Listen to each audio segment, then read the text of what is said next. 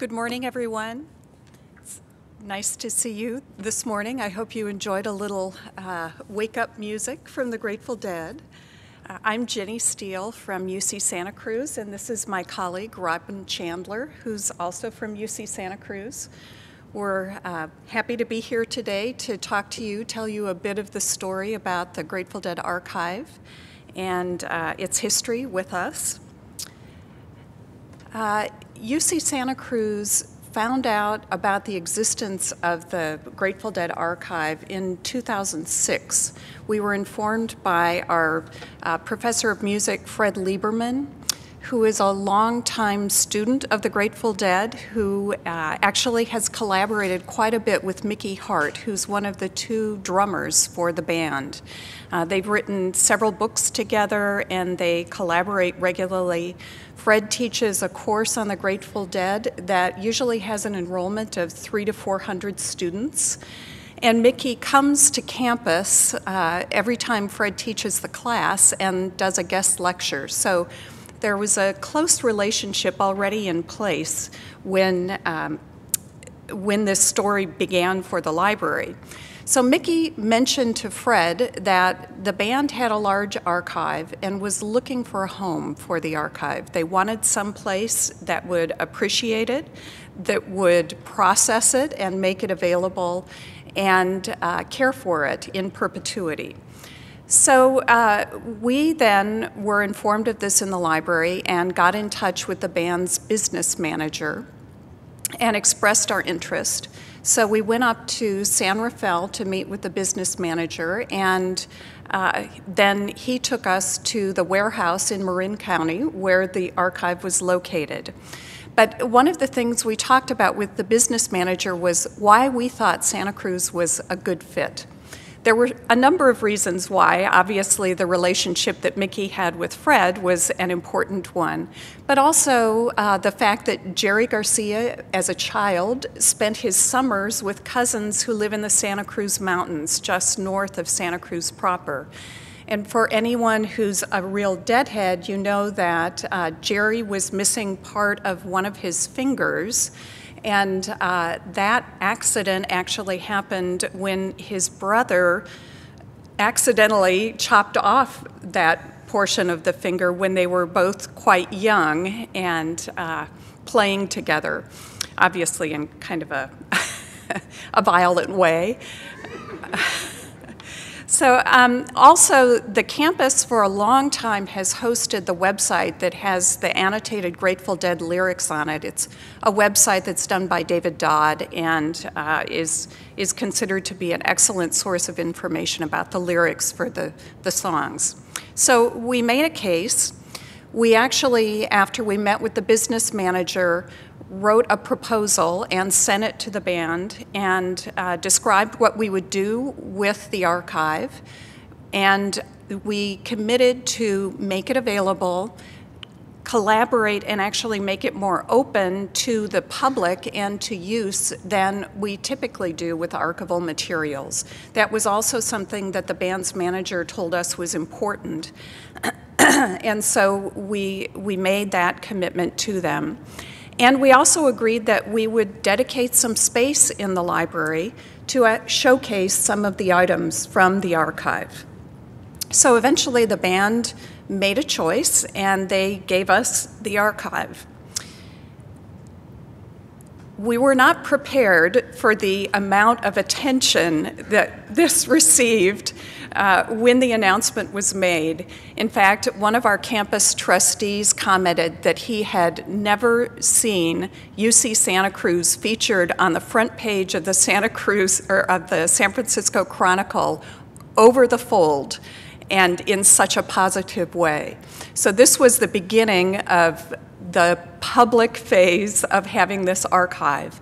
The same day, we had a press conference at the Fillmore in San Francisco that was attended by Bob Weir and Mickey Hart, as well as a number of other members of the band family, John Perry Barlow, uh, a number of other people. One of Jerry's daughters was in attendance. So Uh, and it was quite something because it was a true press conference with a room full of reporters, TV, cameramen, uh, all sorts of people really interested in what was happening with the archive. So, uh, again, we were getting the sense that the world was taking a lot of interest in this archive. We then um, went back and went to the warehouse and really started looking at what it was. The warehouse itself was 2,000 square feet, and it was packed floor to almost 30 foot ceilings with materials. And uh, we didn't know exactly what was there. We knew there were um, records of the band's concerts. We knew that there were business records. We knew there were photographs, posters, t shirts, other kinds of merchandise also a lot of material that fans had sent to the band. Uh, so we, we embarked on the process of packing up the material in the warehouse and bringing it to Santa Cruz. These were some of the file cabinets we brought along. Uh, I love some of the, the bumper stickers on them, they're a lot of fun. Uh, we also found a lot of ephemera as well as the files. And uh, we became very close with Eileen Law, who is actually considered the mother of this archive. Eileen was first a volunteer and then a paid employee for the band. She worked in their ticket office. And she has the true soul of an archivist. She kept all these materials and she organized them as best she could. And she even defied the band um, on multiple occasions when they told her to get rid of all that junk. Uh, in one case, she, she put it all in a closet in the building that they used at Fifth and Lincoln in San Rafael, just so that band members would think it had all gone away. Uh, but she held on to it, and, and she has worked with us since that time to really um, make sure that we know what's in the collection and uh, take good care of it. One of the other large components of the collection that we received was fan decorated envelopes. The band uh, sold tickets and made tickets available for people who wrote to them at their office.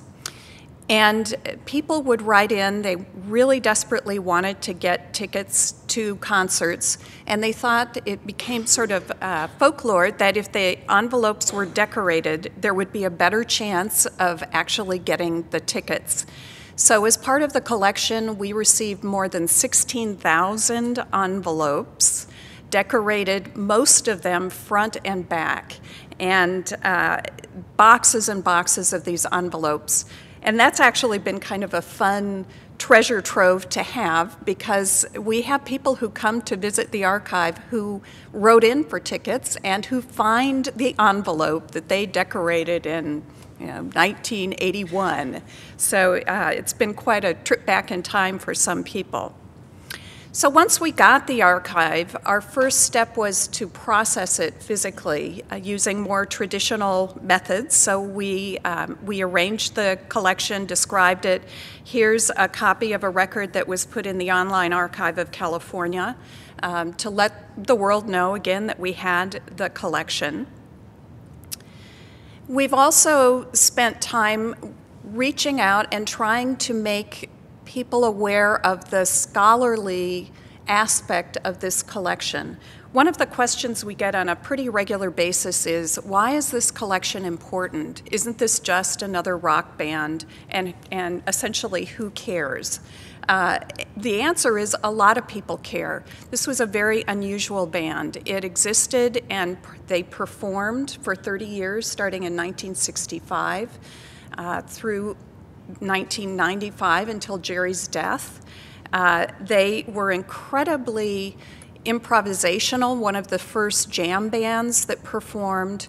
They had a very wide repertoire. One of the interesting things about the band is they could go to a city and have uh, three days of concerts to give, and they would not repeat a single song in those concerts.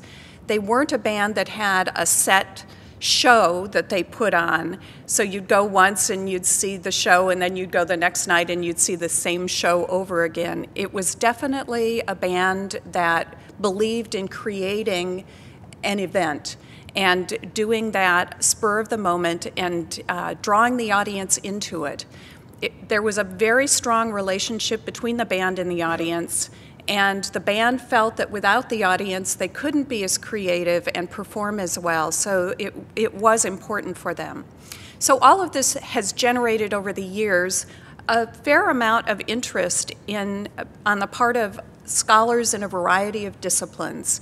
Uh, and in fact, the um, Southwest Texas and American Popular Culture Association have a Grateful Dead Scholars Caucus that meets every year and has met every year for 15 years. Uh, and that consists of two and a half days of papers given about the band, about their music, about the sociology of Deadheads. Uh, the, the group of people that followed the band around and that were dedicated fans of the band. And so we have started in the archive to put out uh, a journal called Dead Studies that is uh, the much of the material that comes out of the Grateful Dead Scholars Caucus.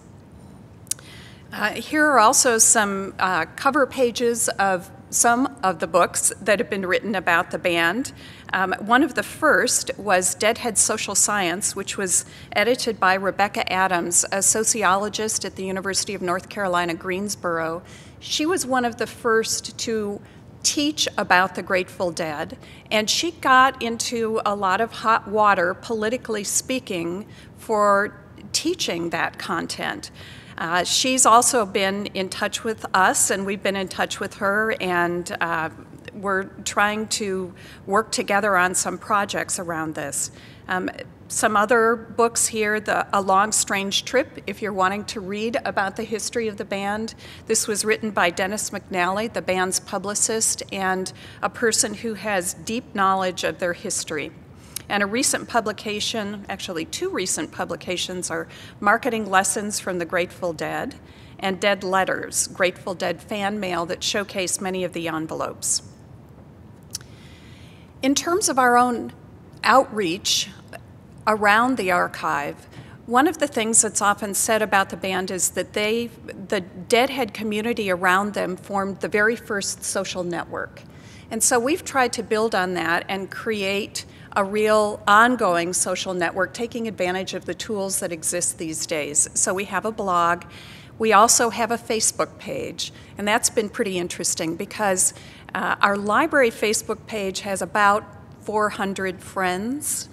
Our Grateful Dead Archive Facebook page has more than 62,000 friends. So it tells us who likes what in, in our collections. Um, and another part of building community is to reach out in more traditional ways. So we're uh, doing a newsletter that comes out periodically that showcases some aspects of the collection or describes new materials that we've added. This is definitely a growing collection.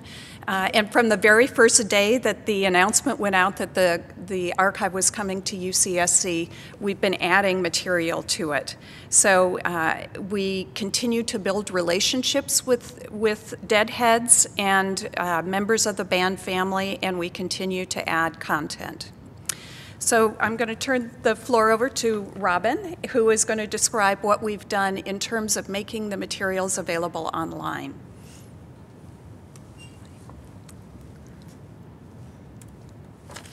Okay. Oops, excuse me, gone too quickly. Well, thank you all very much for coming uh, this morning. Um, it's an exciting topic to uh, kick off the, uh, the morning with, I think. Um, we, uh, we began, uh, this next stage of the project was really to, to focus around this building of a socially constructed archive. Um, as Ginny mentioned a little earlier, you know, one of the things that we worked with the band to do was to talk about how we could make the content available. And so building a building a website that could uh, feature the band's content and also begin to uh, continue that that sort of legacy of working uh, with the fan community was an important important step for us. Um, the band had this very unique relationship with its fans. Um, it was really an exchange between the artists and the audience during the show. And the show was very paramount. Um, as you've heard, uh, the same set list was never performed uh, twice, the same song never in the same manner. And we, uh, we wrote and were uh, happy to receive an IMLS grant, a two year IMLS grant, which went towards our process of building the socially constructed uh, uh, website. And what we, what we saw was that this was really a very unique opportunity to leverage this relationship between the band and the community to help build the collection. Um, we would enhance the content that the band gave us through the, the great uh, efforts of Eileen Law, but then build the, build the collection through capturing the fan experience. Our specific IMLS goals were to scan uh, some 45,000 items, um, to use Omeka as the essentially core of the website, to bring in uh, web resources uh, when appropriate into the collection, um, to work on developing a plugin that would uh, essentially enhance the exchange of information between CONTENTdm and Omeka.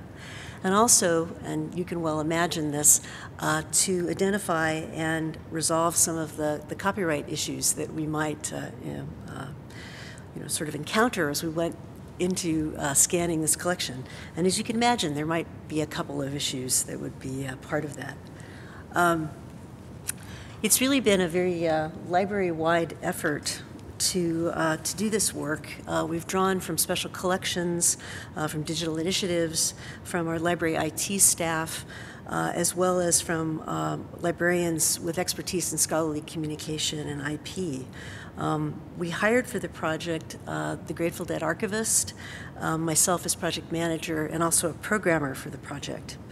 Um, Omeka was a very uh, appealing software for us to use um, in, in a couple of ways. Uh, it has the, the ability to create exhibits, which we saw as a, a very good way of being able to help uh, provide interpretation of the collection, to give that enhancement to the collection, and also as a way to potentially, uh, in the long run, reach out to graduate students and faculty to help build content that would use the collection.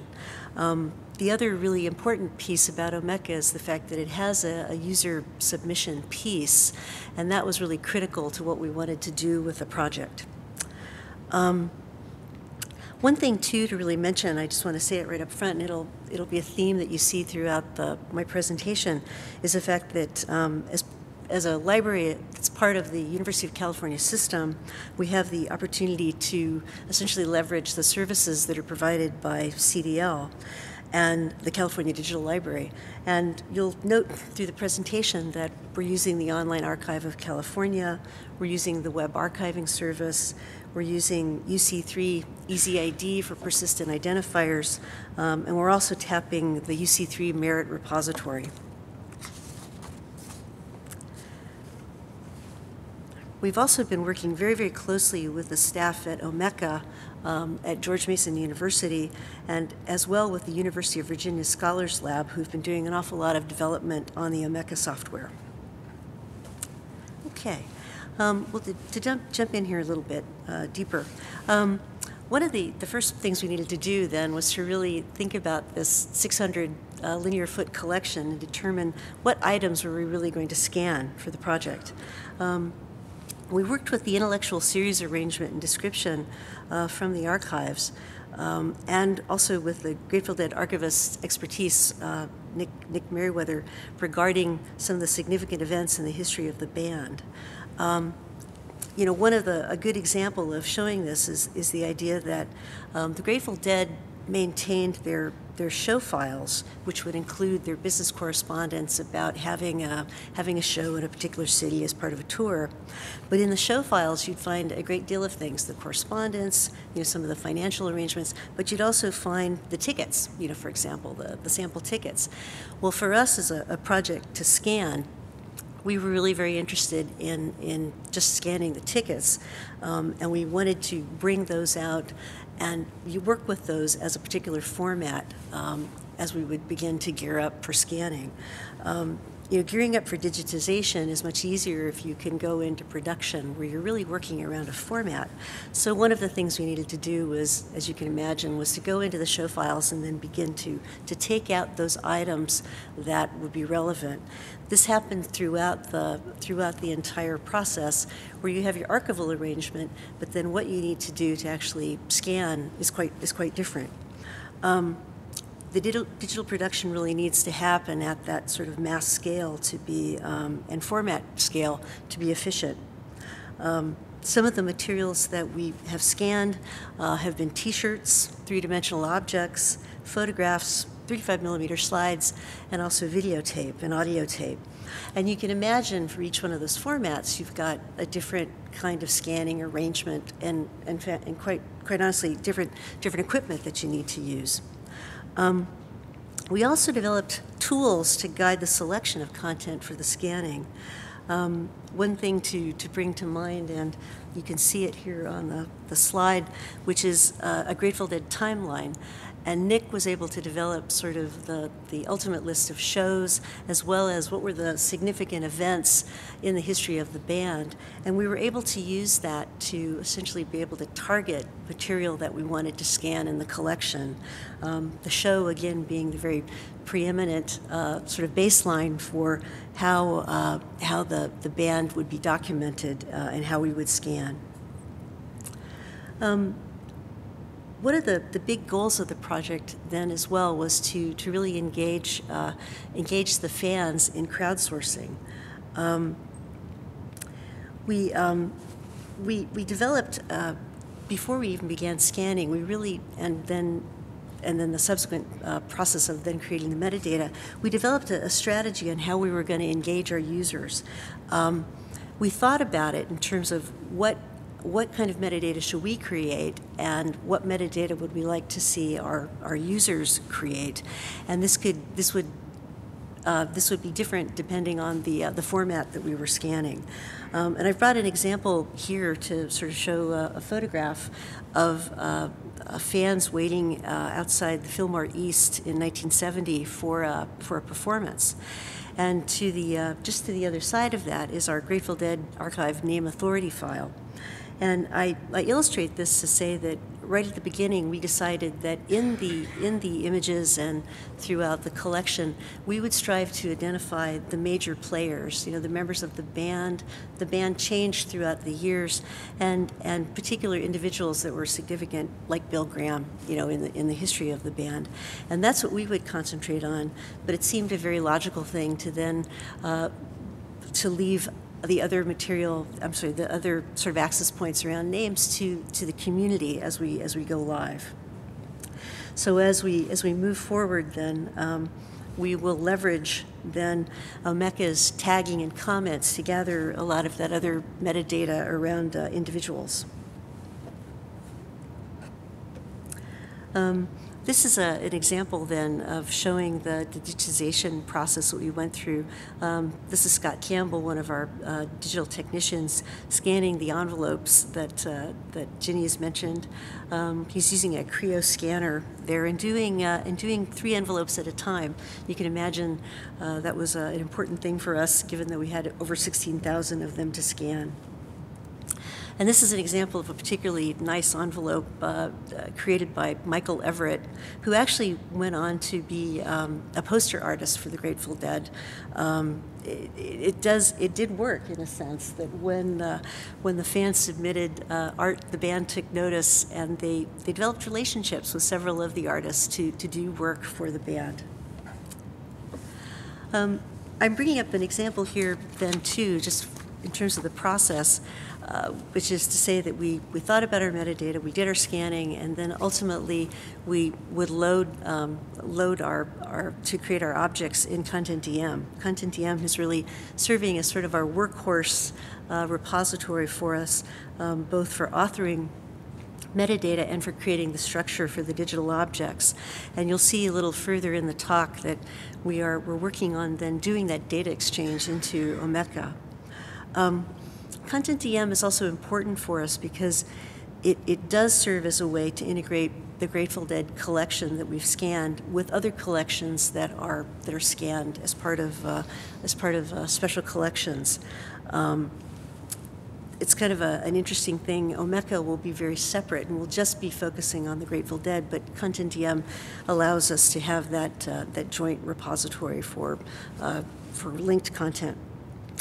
Um, I just wanted to comment and say that the uh, the ABBYY software has worked really well for us. Uh, that's a part of CONTENTdm. The one thing that we've noticed is that uh, poor quality uh, original gives you poor quality OCR. Um, but we, uh, we've been very happy with it. Uh, we've done minimal correction of names, uh, again, in the, uh, in the text. Um, just thinking in terms of users that those are going to be the kinds of points that they're going to want to find, the, the people the people that are part of the, part of the texts, be they artists or uh, the band members or photographers. But anything else we, again, will turn to the crowd to do as, we, as we move forward. This is just kind of a little montage of some of the things that we've, we've scanned.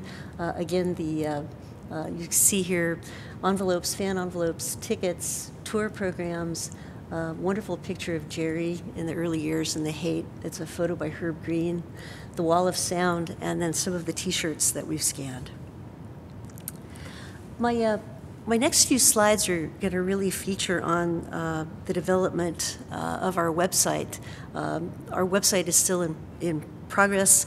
We're planning on uh, releasing the Grateful Dead Archive Online, or GDAO, as we've come to come to speak of it. Um, it's the ubiquitous acronym, I guess. Um, but it is in development. We'll release it uh, at the end of June of this year. Um, I think what's an important point to make is that with this website, we're really trying to balance um, the needs of the public, and in a sense, the deadheads, with the with the need of those individuals that are going to engage in scholarly research.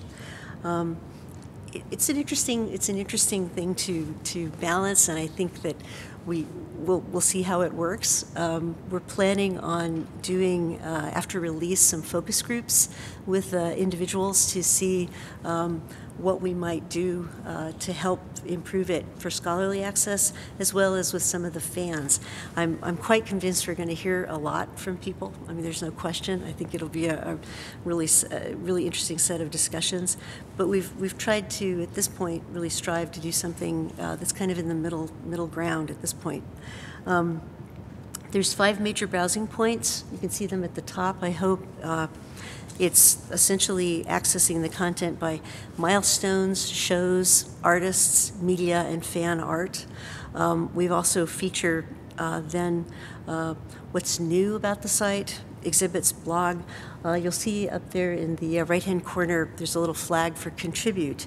And that's, that's going to be a very important key to this project, again, as a socially constructed archive. We really want to uh, encourage the users to contribute. Um, just sort of picking up here, um, this is going to be one of the major ways into the content. It's a milestone um, timeline.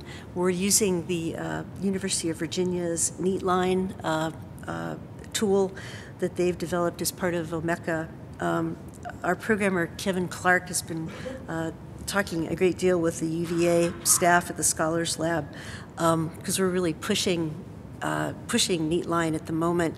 Um, we're going to be putting over 2,000 shows into this and sort of having a, a, timeline that will accommodate 2,000 shows and other significant events will be an interesting use of this. And so uh, stay tuned. We'll see how it works. Um, one of the other things we're doing is we're bringing the existing blog into GDAO. It's been a separate, a separate blog using um, Blogspot. Um, this is maintained by Nick Meriwether, our archivist, but again, we'll bring it into the uh, Omeka site and import the existing entries. Um, another feature is our oral history page. This is again a mock-up of what will be. Um, it's, it's an opportunity for that user community, again, to help develop, develop original content for the site.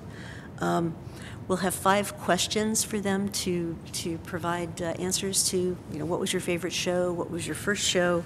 It's really a way to engage them. We, uh, we, we hope it leads to even deeper oral histories. Uh, Nick Meriwether our archivist will be having a StoryCorps where uh, interested parties could come in and they could actually do extensive um, oral histories with Nick in our museum, our sort of exhibit for the, the Grateful Dead. Um, but again, we see this as sort of a way to reach out and get the user community to participate. Um, they can either answer the questions as text or they can call the Google Voice number that we'll have and leave a message, uh, essentially.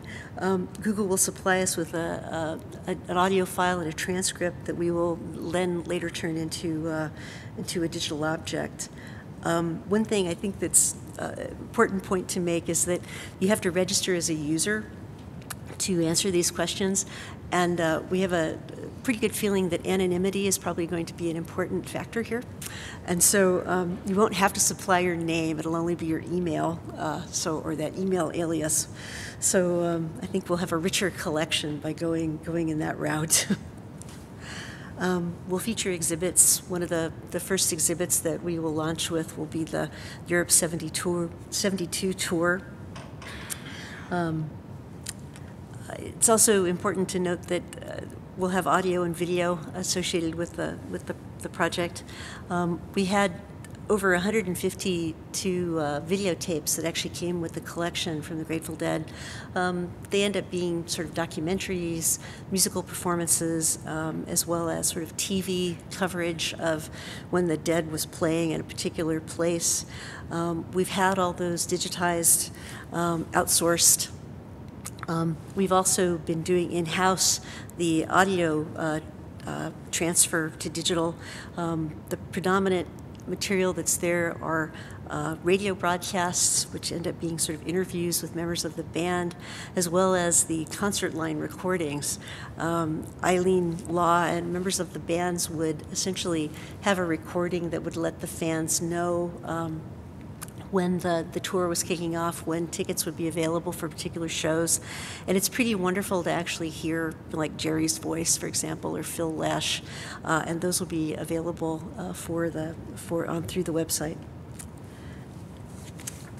Um, the other piece again that's uh, really important component of this whole website is the user contribution page. Um, this again is a mock-up. We're going to be asking for, for very um, very minimal amounts of metadata uh, from the from the users. Although we love it if they would give us more, you know, in terms of if they can actually give us a date and they can actually give us a location of something. But if they can identify a title and identify themselves, that'll that'll start it that'll start it off. Um, but what's particularly important to, to note here is that um, we're asking users if they own the copyright or, or if they don't, uh, do they think they can make this available uh, via fair use? We're also giving them the option to pick one of three licenses as they submit. Um, two of them are Creative Commons, one of which would be for non commercial use, the second one for um, commercial use, and then the third license is one where they would be granting the UC Regents uh, to grant our, our library the permission to, to use the material. Um, sort of hand in hand, and this hasn't gotten to the mock-up stage, it's still in, in wireframing, but we want to we want to incorporate a wish list as part of the website, which is to really kind of target specific items we might be using might be looking for. Again, you know, a good sort of example of that is particular tickets that we might want to have for particular shows. And, and that would go very much hand in hand with the, the overall collection development policy that we have for the collection um, that will be available through the Special Collections website. Um, we sort of see this as sort of a balance. There's there's that place where you know certain kind of users are going to be interested in specific things. Again, I think that's sort of a place where the fans are going to be very interested in that. But there are other kinds of users that would be interested in, in what we're collecting uh, around the Grateful Dead uh, in a much more a deeper way and in some sense kind of a, a broader way. And we'll have that available uh, for those users to, to evaluate as well. Um, the Grateful Dead website would be really nothing without music to a certain extent. Um, it is it is the it is the baseline for the for the collection. But when we received the, the collection, we did not actually receive any of the uh, original music at this point from the band. Um, contractual arrangements between Grateful Dead Productions and Rhino Records um, uh, prevent us essentially from being able to post any of the recorded albums online. But what we decided to do to, again, make this a rich resource was to reach out to the Internet Archive, which has a, a very rich resource of fan submitted tapes. Uh, as you know, the fan tape culture was very important to the whole uh, experience of the show. And the uh, Internet Archive uh, was very happy to see us uh, essentially uh, harvest uh, their metadata and bring that in as part of, of the, the website. Um, what's this is kind of a, an interesting way to, to think about it that we'll be incorporating Google Maps as a, as a view into the content and the the experience of the, the music coming from Internet Archive will be very much browsable through this this location specific uh, where each show was. Um, so you'll be able to to click on this as an entry and it'll bring up Internet Archive content as well as our content that we've scanned as well as user submitted content. Um, I think it's important to note here as well that we've um, we've done our best to locate the uh, uh, GPS coordinates for particular venues, but some of these things are are not on the map per se. and so we'll be reaching out to the, the community uh, to help us with specific coordinates if they, if they have them as, uh, as they're able to make them available. Um, We've also used the uh, web archiving service from CDL to essentially crawl 16 sites that we've identified. Um, the sites that, uh, uh, that we've crawled include things like fan blogs uh, that have images and commentary, um, as well as uh, the Grateful Dead lyric website that was created by uh, David Dodds that Ginny mentioned earlier. Um, we have 14 sites in the uh, in it uh, now. Two of them are, are still embargoed, um, but they'll be available in the next few months. Uh, but this is is something again as well that we've incorporated the MARC record that we've created for each of the websites.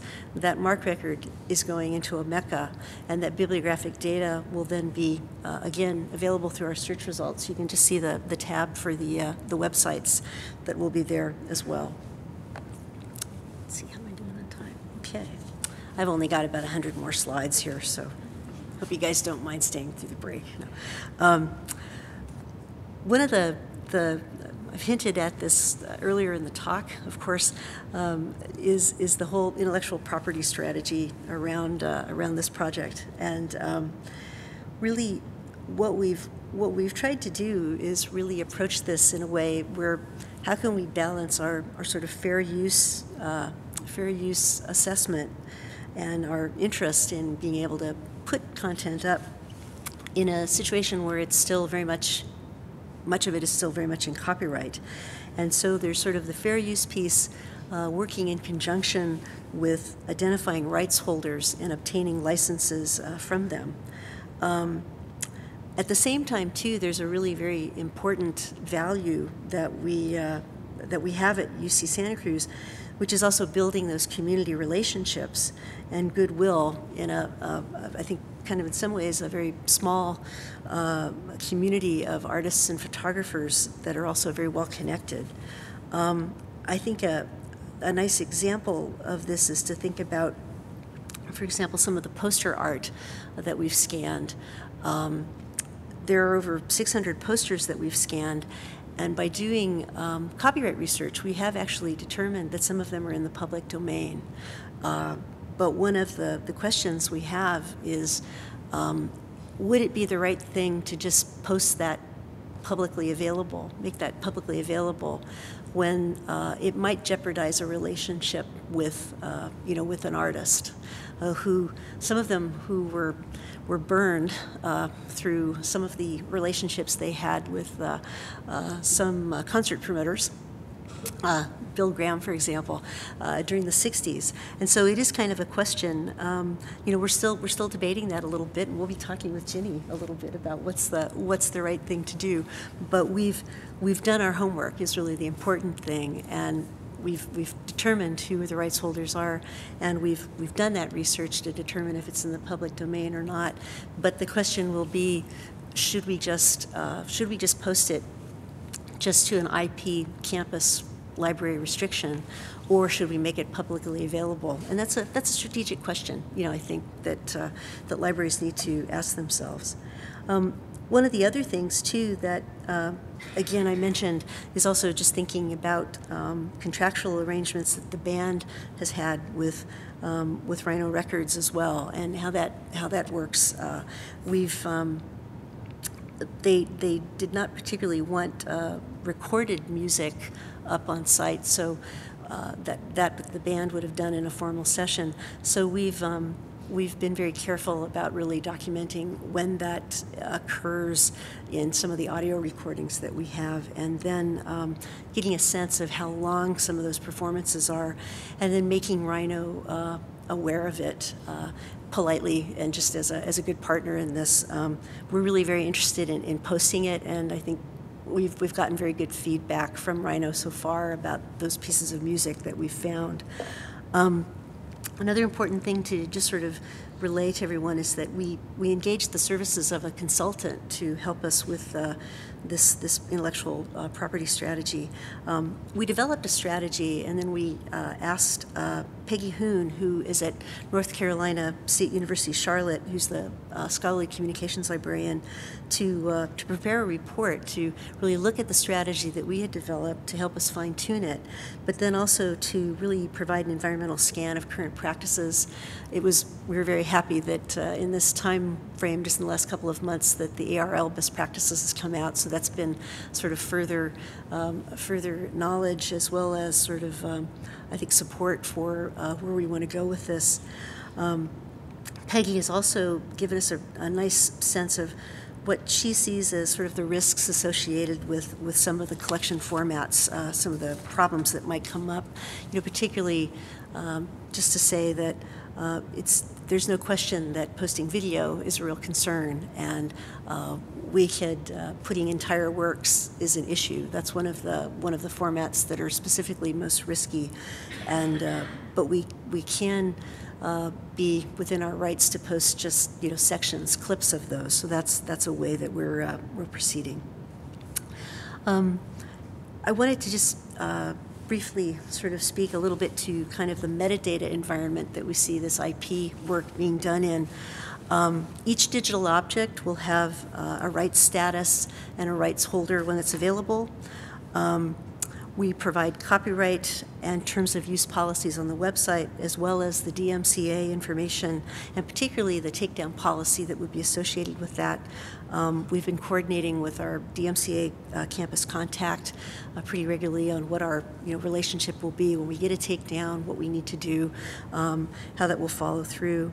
Um, we've also been, just as an overarching piece, um, developing a real good communication channel with the community to uh, to let them know that if, if we didn't know who the rights holder is, please come out and self-identify. You know, please let us know. So those are those are sort of uh, steps we're beginning to take, and as we roll out the website, we will uh, we will go into high gear on that as well. Um, the strategy that I have here, I'm showing as a just sort of a, um, a piece up here, was approved by our campus council essentially what we did was to lay out by format uh, the risks that we saw associated with the particular format. Um, we had our consultant strategy. Um, we had our strategy that we then have uh, developed um, after um, after the consultant, and we uh, talked about and approved this with uh, with Ginny. Um, the consultant, when available, gave us uh, sort of her opinions on access management, but we also um, have outlined um, the kind of access that we want to give per each format. Um, generally, we're looking uh, to provide um, essentially uh, medium res JPEGs at 72 DPI uh, for the material and to, uh, to essentially only restrict uh, to campus when we have to. We want to try to, to put as much things out as we can publicly, but we will, uh, we will uh, of course, um, uh, use uh, our, our fair use assessment to help us inform that what we what we make available just just to the campus. Um, I just wanted to sort of briefly speak. This is our our fair use assessment and copyright issues analysis tool that um, that we developed. Um, uh, I will do a shout out to uh, UC San Diego uh, Library, where I used to work, and uh, we did some very good work on, on some of these issues as well. And uh, I took this uh, this intellectual property to Santa Cruz. I hope my colleagues here don't mind, but it was it was good thinking we did there, and we've we've taken it and adapted it to to Santa Cruz as well. Um, the um, our our head of special collections uh, went through and uh, evaluated the, the, Grateful Dead collection, uh, particularly you know looking at what the copyright status was for particular formats, and then to obviously evaluate based on the, the four factors of fair use, purpose, uh, nature, amount used, and market impact. Um, we were taking that that information and then again sort of balancing it with the the the, the goal of actually going out and getting licenses from the uh, uh, specific um, specific artists and photographers. Um, we identified over 400 uh, of these individuals in the collection, and then we were able to do the research to find over 100 addresses uh, for whom we sent out letters and emails uh, requesting uh, their interest in participating to let us post and asking them to sign a license. Um, to date, we have received uh, 46 licenses out of that 100 that we've sent out, but it's really only uh, a small percentage, you know, about 10% of the larger, you know, amount of photographers and artists that we found in the collection. Um, the, um, the strategy that we engaged in to research the contact information was to talk to some of our Grateful Dead Productions uh, uh, staff uh, who still knew some of these individuals. Um, we also researched professional databases for artists and photographers. Um, we leveraged where we could the research that had been performed by others for addresses.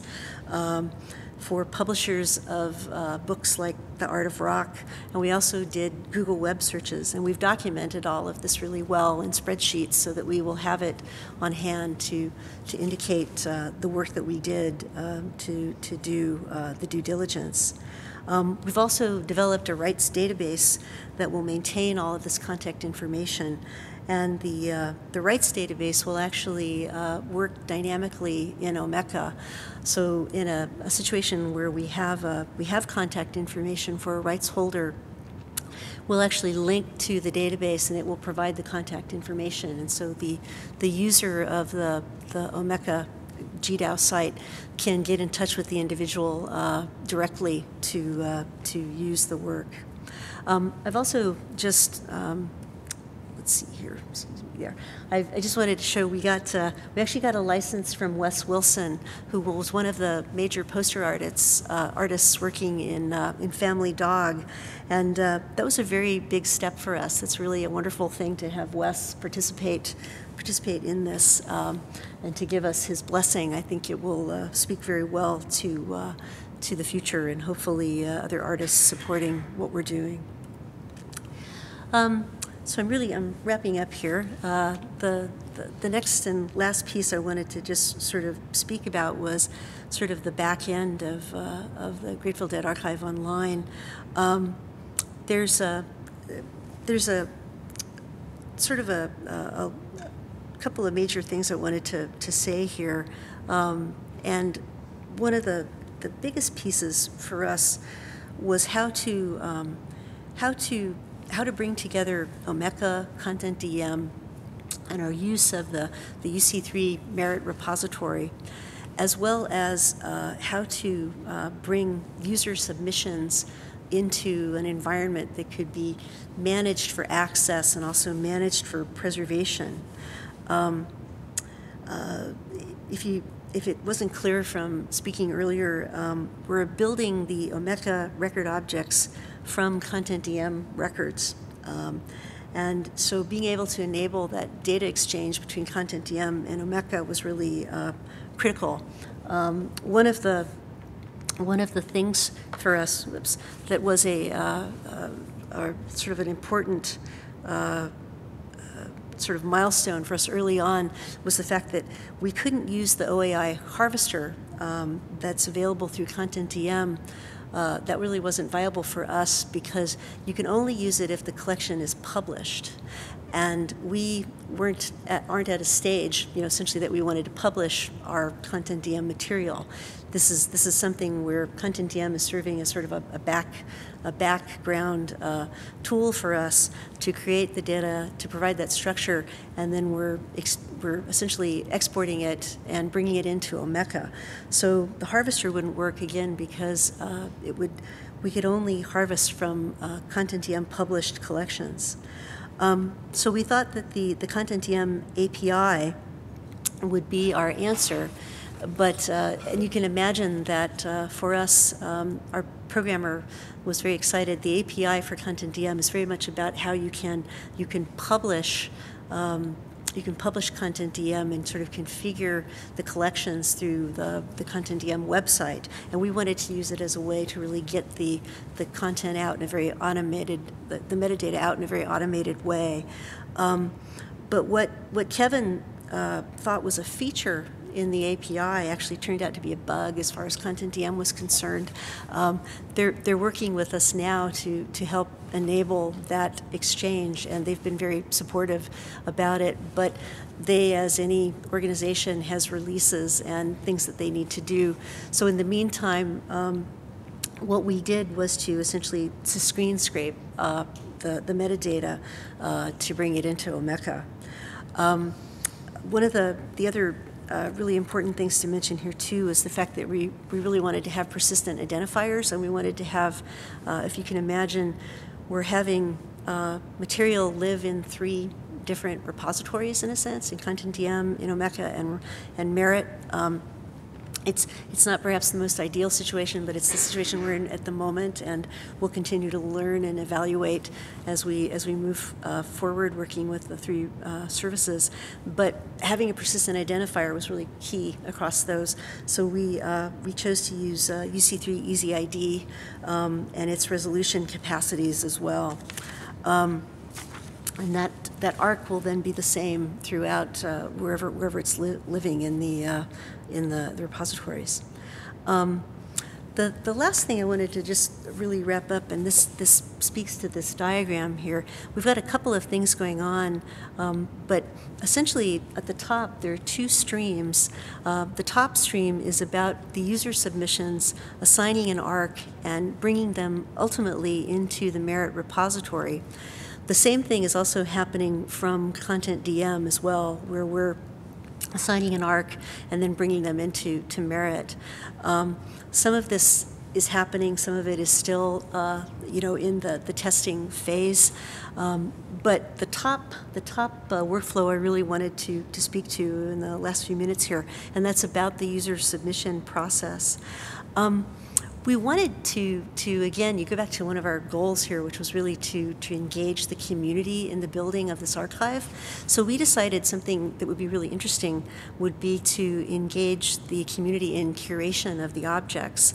Because um, one of the things that we've learned from uh, Nick, uh, Nick Meriwether, our archivist, is the fact that um, the fans being very creative sometimes will author fake things, fake fake posters, fake tickets, and so something that would be uh, really a very useful thing would be to engage the community in identifying those those fakes. Now, from a um, from a historical perspective, the fact that they're fakes is actually very interesting, and that's great, and we'll we'll preserve it. But it's really important from an authenticity perspective to say, you know, when the Grateful Dead was the Warlocks and they used to play at the pizza parlor in Menlo Park, they probably didn't have a ticket, you know. So when somebody creates a ticket and submits that, um, we we need to know right up front if if it's authentic, if it's the real thing. So so there, when a user submits content, we'll have some we'll have some filters to obviously uh, catch spam as best as we can, and in our FAQ we will indicate um, you know, sort of file size limits and the kind of things we're looking for. But We plan on having the user submission go live. Um, there'll be an ARK that's created and assigned to that item so that it'll have its persistent identifier right away. The content will be publicly available, but it'll be visually, visually different. It'll have a slightly different look to it, and it won't be able to be socially bookmarked or commented, uh, or socially bookmarked. But you will be able to comment on the object. And uh, it, it's in that that we uh, hope to get uh, user, you know, user information about the object. Um, right now, we're seeing this curation period is happening for about a week. You know, we might end up, uh, it might end up being two weeks. Uh, we'll, we'll see how it goes. But once that period of curation is over, um, it will then officially become an object that we want to submit to Merritt, and we'll actually mint the ARK, create a METS object uh, from Omeka, um, the Dublin core metadata that came from CONTENTdm will be mapped to MODS, so we'll be submitting a METS MODS object into Merritt. We chose to go that way to try to be as interoperable as possible um, uh, for the future. And I'll just also just make the statement that, you know, we, we were looking at METS, and we chose METS because we know we needed some kind of structure. Um, you know, we Kevin and I talked about, well, would OAI ORE be something to think about? But that seemed a little over the top. But uh, so so METS is the way to go. Um, Merritt doesn't require METS, but it was just something that uh, that we thought was was was critical for thinking about uh, future uses. Um, so let me just wrap up here uh, quickly. There's issues to, that we'll continue to resolve and think about uh, things about synchronization between CONTENTdm, Omeka, and Merritt, uh, thinking about redundancy. Um, there's ideas to continue to explore, um, you know, how we can do more work with crowdsourcing. Um, there's there's things to monitor in terms of the CONTENTdm community as well. Uh, we're institutions like Simon Fraser have done some great work of, of integrating Drupal with CONTENTdm, um, using the API. Um, you know, I'm just I'm just raising that as uh, would that be something more efficient for us in the future versus Omeka? But you know, we'll we'll see how see how all these things uh, play out. Um, Ginny here for a second.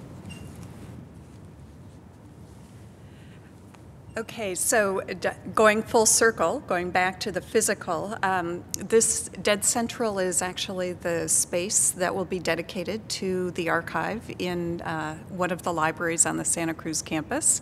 We're in the process of constructing it right now, and it will open later this spring. And one of the things we have received from a donor is uh, this statue of Jerry's hand, which now sits on this pedestal outside of Dead Central, and we're hoping it will become something of an icon for the space. And our intention going forward is to really link up the physical and the virtual and uh, put exhibits online, as Robin has mentioned, and showcase the GDAO in the space that we have. So um, there's still a lot of work to be done, but we're really excited about it. It's been a terrific project, and uh, uh, fun as well as a lot of hard work. So um, we'll stop there and, and see if you have any questions. I think we have just a, a few minutes for questions.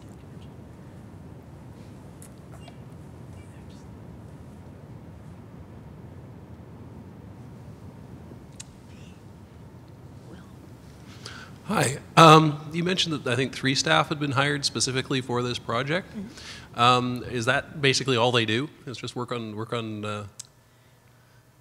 Do we answer that? um, well. Uh, Robin and Kevin, who were hired for the project, yes, work on the project. Nick Meriwether, our Grateful Dead archivist, is um, he's actually a permanent employee now, so he is a member of our special collections department. He focuses on this collection, but he also helps out. Um, he works the special collections service desk and and does other kinds of work. He does instruction, in fact, um, so, and not instruction about this collection, but general instruction for a writing program. So he's integrated into the library. Right, but I imagine there must be a, n- well, a number of other staff who are also uh, heavily involved as well. Is Oh, that- is that yes. correct? Yeah. Yes. Yeah, it's, uh, Yeah, I've, I've pretty much tried to tap everybody in the library, you know, for some part of it. Thank you.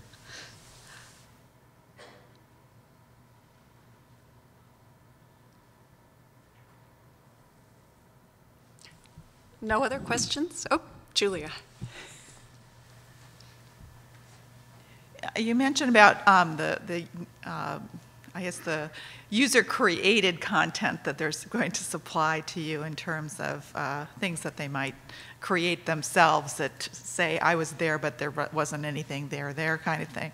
But what about people who want to contribute something, but they want to hang on to it themselves? Are you going to ha- have them loan it to you so that you could digitize it and add it to the collection?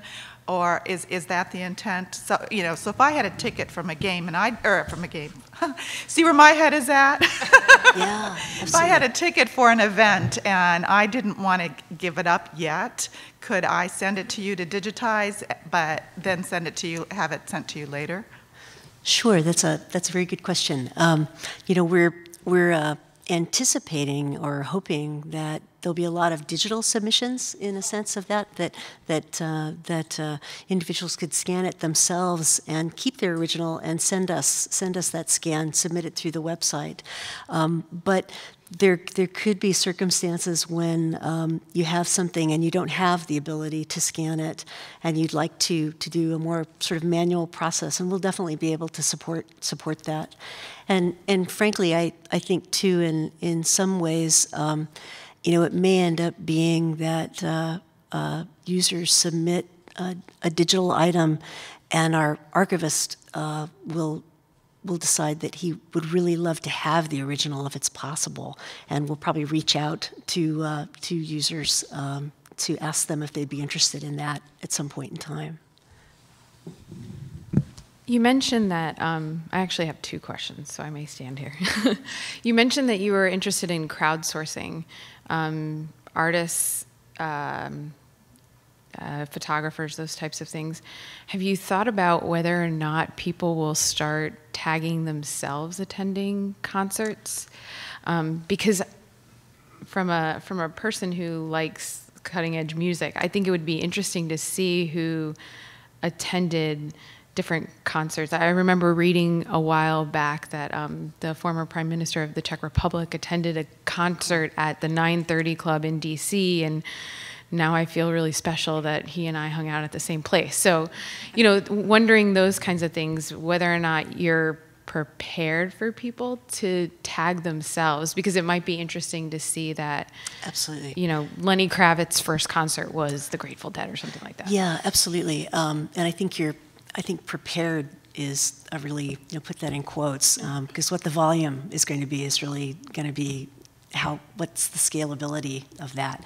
But, but indeed, um, what our, what our intent was, we developed the name authority file to, to essentially um, tag before, you know, when we're creating the metadata record in CONTENTdm, to give us the opportunity to identify those principals the, in, that are in photographs, but to, yes, very much so, open up who might be in those other photographs. And I think that that image I showed of the fans waiting outside to go into the Fillmore East in 1970, we don't know who those people are, and we really do hope that they, they do identify. And, and I think it's, it's going to be really interesting to see how, how this plays out. Um, you know, you could, you could imagine. Um, I'm, I'm, I'm going out there in terms of a visualization, but you could, you could imagine people potentially having uh, uh, sort of seating plans for concert halls.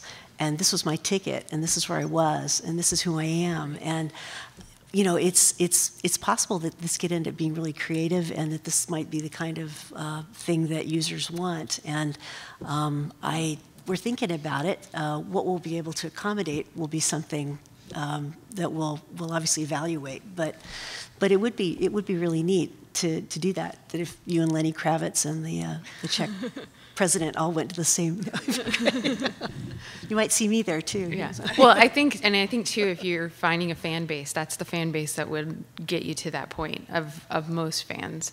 The other question I had was, um, have you had other bands, archives approach you about how to do this? Because I could imagine, um, growing up in a family full of Beatles fans.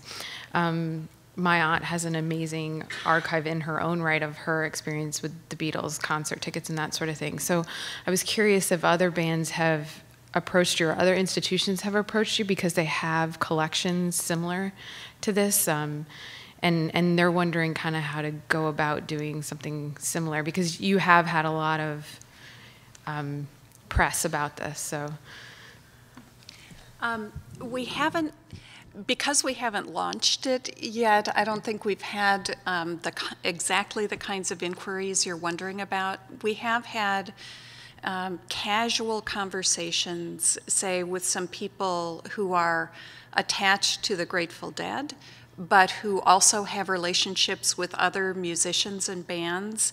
And they're really watching what we do with this. So I think I think starting this summer when we launch the the website, I think that's when we expect to get some more conversations going.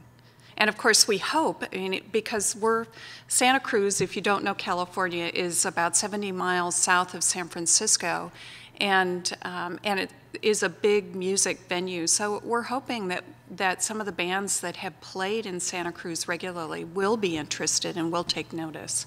Uh, So we'll see. I, I imagine that there are a lot of bands out there with, with a lot of crap. Well, we hope it's not crap. So uh, we've actually run over time. I want to let you go and get some coffee or take a break. So thank you for coming this morning.